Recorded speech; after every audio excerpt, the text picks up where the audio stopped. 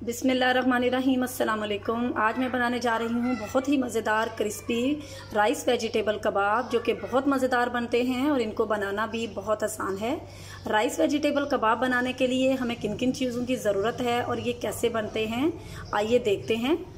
चावल लिए हैं मैंने, ये रात के बचे हुए चावल हैं, मेरे पास डेढ़ कप, आप चाहें तो ताज़ा चावल भी बॉयल करके उसके भी ये कबाब बना सकते हैं। मसाले डालेंगे, मसालों में धनिया powder one teaspoon half teaspoon साबुत ज़ीरा, हाफ़ टी स्पून सौंफ, हाफ़ टी स्पून नमक लिया है। नमक आप अपने टेस्ट के मुताबिक डालेंगे।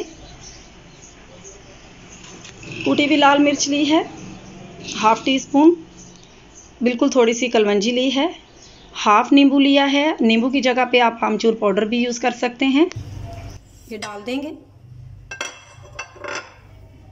थोड़ी सी चॉप की हुई हरी मिर्चें हैं, ये भी डाल देंगे। हल्दी पाउडर है। हाफ़ टी स्पून एक दरमियानी साइज़ का प्याज लिया था मैंने, इसको बारीक बारीक चॉप कर लिया है, ये भी डाल देंगे साथ ही।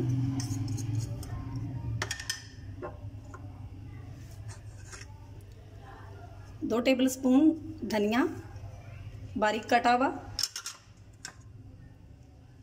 एक कप छोटा मेरे पास है, ये बिल्कुल बारीक चॉप किया हुआ बंद गोभी। शिमला मिर्च मैंने ली है हाफ़ कप।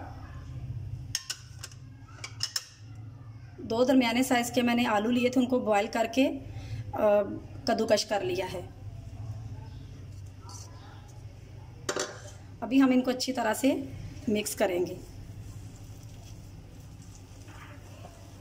आपने इसमें पानी बिल्कुल भी नहीं यूज़ करना होगा। सब्ज़ियाँ जो अपना पानी छोड़ेंगी, उसी पानी में ये तैयार हो जाएँगे।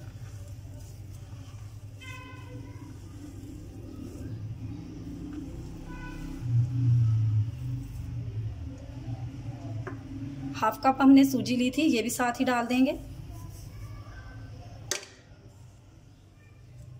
अच्छी तरह से मिक्स करेंगे। हाफ़ जो नींबू रखा हुआ था, वो भी डाल लूँगी साथ ही। हाथों की मदद से हमने इनको अच्छी तरह से मिक्स कर लिया है। ये आप देख सकते हैं अभी ये कैसे इस तरह से हम बना के देखेंगे। ये बहुत अच्छे से आपस में अभी हमारा गोला सा बन रहा है।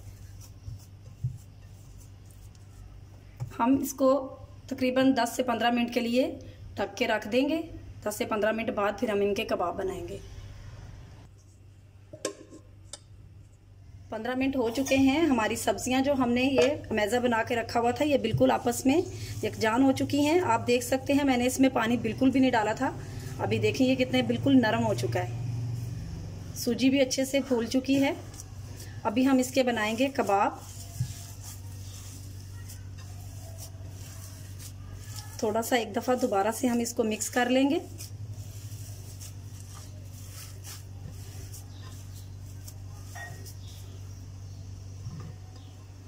हाथों पर हम थोड़ा सा ऑयल लगा लेंगे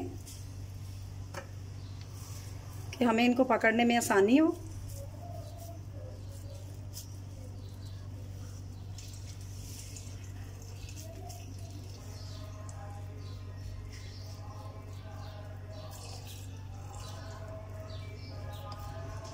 इस तरह से हम बना बना के रखते जाएँगे।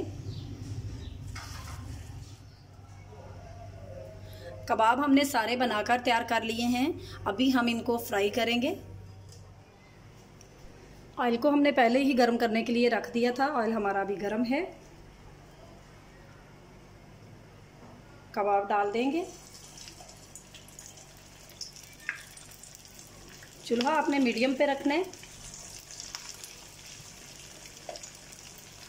और मैं डीप फ्राई कर रही हूँ। आप चाहें तो शैलो फ्राई भी कर सकते हैं।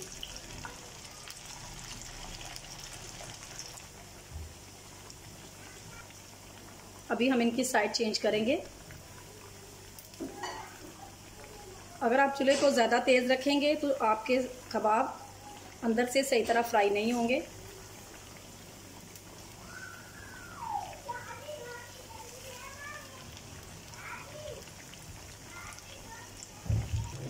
कबाब हमारे फ्राई हो चुके हैं, अभी हम निकाल लेते हैं। जी तो नाजरीन, तैयार है हमारे राइस, वेजिटेबल कबाब। बहुत ही मज़ेदार बने हैं, आप भी ट्राई करें। और हमने सर्व किया है अपने घर के बने हुए टमाटो केचप से।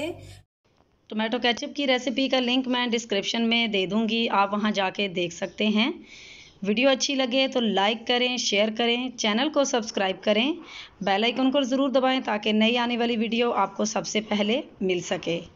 दुआओं में याद रखें, अल्लाह हाफिज़।